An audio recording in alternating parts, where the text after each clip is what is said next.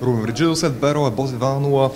Uh, Ruben, your opinion about the game? Uh, it was a difficult game actually because you scored at the uh, beginning of first half. A difficult game. Uh, we I think we didn't start so well uh, the first 10, 15, uh, 15 minutes.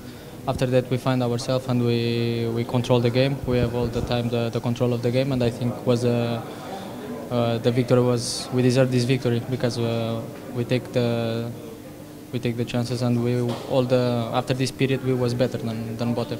How crucial, how decisive was this penalty at the beginning of the first half? Uh, thank Uh, It was important. Uh, unlock the game, you know. Botev was uh, with um, defending, uh, was behind the ball. Was difficult for us to find some spaces and to create chances. And after this this penalty and the last one player for Botev was more um, more easy for us to, to control this game.